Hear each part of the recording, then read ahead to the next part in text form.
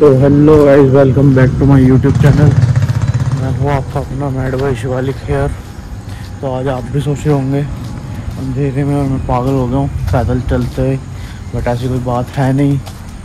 मैं, मेरे को अराउंड तीन चार दिन हो गए रनिंग के लिए। अभी नॉर्मल वॉकिंग करके आता हूँ, सिर्फ़ थोड़ी सी दूरी जाता हूँ बिकॉज़ बॉडी को हैबिट डल जाए एक चलने की तो आज का करते हैं हम लोग यहीं से स्टार्ट और दिन की शुरुआत पहली हो गई आज। तो चलो, अभी बहुत बड़ा दिन है, देखते क्या क्या करना है।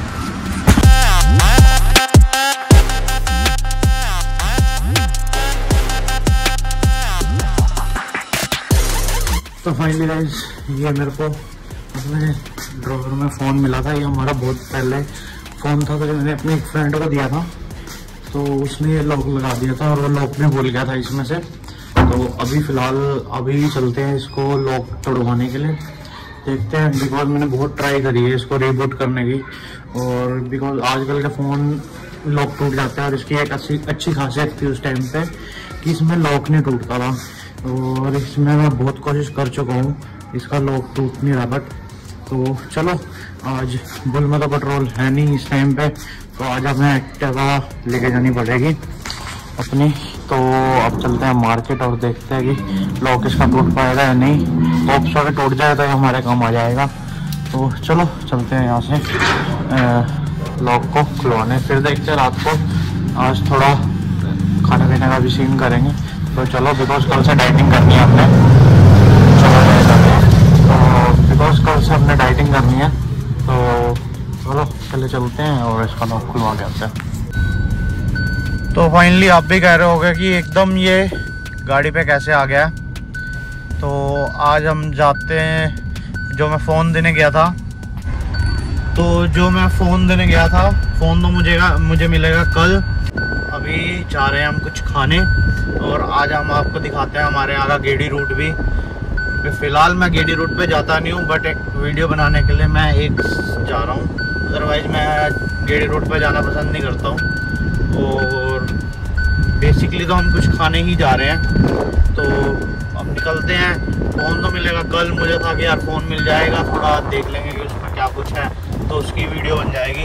बट फ़ोन मिलेगा कल बिकॉज़ उस फ़ोन में एनएससी पता नहीं एनएफएस करके कोई सॉफ्टवेयर होता है। वो लगा हुआ है। और ये सोनी उस टाइम पे देती थी।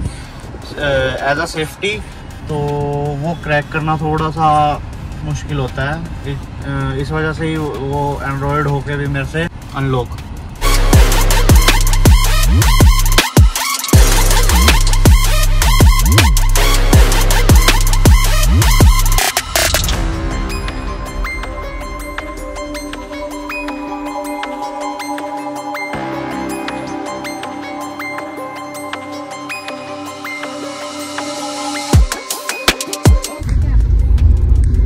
फाइनली गाइज़ हम आ गए गेड़ी रूट पे और मैं दिखाता हूँ आपको कि गेड़ी रूट में हमारे यहाँ होता क्या क्या है। फ़िलहाल ऐसा कुछ होता नहीं है, इतना ज़्यादा कुछ खास, बस थोड़ी बहुत ही वारागर्दी होती है। तो वो वारागर्दी मैं दिखाता हूँ आपको देन फिर निकलता है कुछ खाने पीने के लिए। तो चलो, करते हैं स्विच फ्रंट कैमरे पर और दिखाते हैं आपको वारागर्दी के थोड़े से मज़े।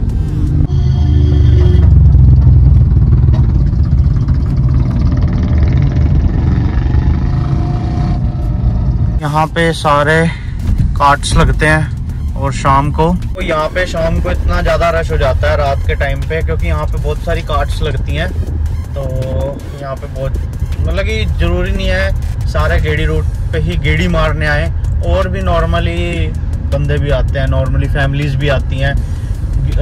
गेड़ी ना करके खाने पीने भी आते हैं बिकॉज़ यहाँ पे कार्ट्स भी बड़ी सारी लगती हैं। और यहाँ पर एक रेडी भी है जो है कॉफ़ी वाला के नाम से बहुत फ़ेमस कॉफ़ी वाला है। तो आज तो वो खड़ा नहीं था, नहीं तो अदरवाइज़ मैंने वो पीनी थी। तो बट चलो, किसी और दिन जब हम राइड पे आएँगे बाइक पे तो पी के चलेंगे वहाँ यहाँ से। तो गाइज़ ऐसे ही रोज़ के रोज़ पेड़ कटते जा रहे हैं यहाँ पर। तो अदरवाइज़ यहाँ पर बहुत ज़्यादा पेड़ होते थे। ये देखो इतने इतना ट्रैली भर के पेड़ कटेंगे। क्या होगा? ऐसी आपदाएँ आएँगी और क्या होगा?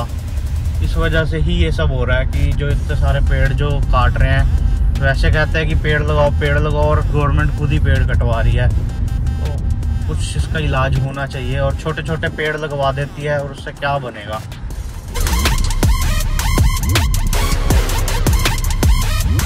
तो कार को मैं कितनी बार समझा चुका हूँ, कार के एसी को। कि भाई तू कार का एसी है, घर का एसी नहीं है। फिर भी इसके मन में पता नहीं क्या वहम डला हुआ कि ये घर का एसी समझ के चलता है। जिसको मैंने बीस पॉइंट पाँच पे करा हुआ है, तब भी इतनी कूलिंग कर रहा है, मेरे को बार बार ऑफ़ करना पड़ रहा है एसी मैंने को बहुत बार समझाया, भाई तो घर का एसी नहीं है, कार का एसी है। तो क्या करें, इसका कुछ इलाज बताओ। इलाज कमेंट में करके बताओ कि क्या इलाज हो सकता है इसका। तो फाइनली हम पहुँच चुके हैं दिल्ली दरबार। ये आपको मुगल कनाल पे मिल जाएगा और करनाल के जो लोग हैं और जो नॉनवेज खाते हैं, उनको ये जगह तो पक्का पता होगी कि यहाँ पे क्या मिलता है। और आज हम खाने हैं बिरयानी और चिकन टिक्का एंड लेग ये चीज़ करवाई है और अभी आता तो मैं दिखाता हूँ कि बट टेस्ट का मैं बता ही नहीं सकता। मतलब कि बिना उसके ही मैं कह देता हूँ कि ये इतना ज़्यादा टेस्टी होता है कि मैं डाइट के अंदर भी इसको यहाँ पे डाइट के हिसाब से भी बना के दे देते हैं आपको तो मैं वो भी खाने आता हूँ तब। तो आज मैं इसलिए इतना ज़्यादा खा रहा हूँ बिकॉज़ कल से मेरे को डाइटिंग पे जाना है। तो अभी आता है तो मैं आपको दिखाता हूँ। बिका और ज़्यादा, इतना कुछ ज़्यादा लंबा चौड़ा महँगा नहीं होता। बहुत रीज़नेबल प्राइस पे होता है ये। तो मैं गाड़ी लगाता हूँ एक साइड पे और फिर खाते हैं इसको आराम से बैठ के तसल्ली से। अब तसल्ली भर के खाएँगे बिकॉज़ कल से सब चीज़ें छोड़नी है। तो जितना भी टेस्ट का ज़ुबान होगा, सब छोड़ दिया जाएगा पहले की तरह। और फिर बैक टू नॉर्मल करेंगे। शरीर को ना बहुत ज़्यादा बॉडी लैंग्वेज ख़राब हो गई है इस टाइम पे। स्ट्रक्चर भी बहुत ज़्यादा ख़राब है।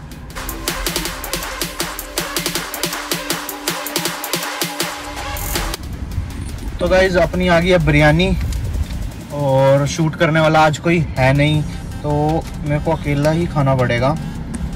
तो करते हैं टेस्ट यार टेस्ट क्या मैं आपको बता रहा हूँ ना, आँखें बंद करके आ जाओ, इतना टेस्टी होता है इसका। टेस्ट आज से लगा लो मैं, पाँच साल पहले खाना स्टार्ट हुआ था, तब भी टेस्ट यही था और आज भी टेस्ट यही है।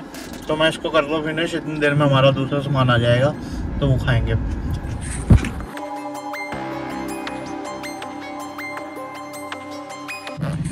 तो फाइनली गाइज़ तो ये आ गया लेग पीस और अब इसको खाते हैं। और लेग पीस का यार सेम मेरा रिव्यू सेम ही रहेगा बिकॉज़ आज का नहीं आ रहा। और इसके साथ खाएँगे रुमाली रोटी और दिन बन जाता है एक बारी तो। और आज मैंने लिया अफगानी वाला। क्रीम का यूज़ नहीं है, दही का टेस्ट आ रहा है इसमें। मज़ेदार, चटपटा सा है। तो चलो इतनी देर में हमारा चिकन टिक्का आएगा? तो इसको हम पहले खाते हैं फटाफट। तो भाई ये देख लो, हमारा आ गया पनीर टिक्का नहीं है, ये चिकन टिक्का है। और ये टिक्का खाने के लिए बाहर बैठा है हमारा एक दोस्त। तो भाई चिकन टिक्का आ गया और चिकन टिक्का में इस बार डिफरेंस होगा, क्योंकि ये वाला स्पाइसी वाला है, और जो पहले आया था वो अफगानी था। बट यार सही बताऊ उसके आगे ना ये फिक्का पड़ रहा है इस टाइम पे। और मेरे दोस्त को देखो बाहर। तो ये पार्टनर आ गया मेरे साथ। उसके आगे तो ये फिक्का पड़ेगा भाई। तो अब मैं इसको खाता हूँ इंजॉय करता हूँ।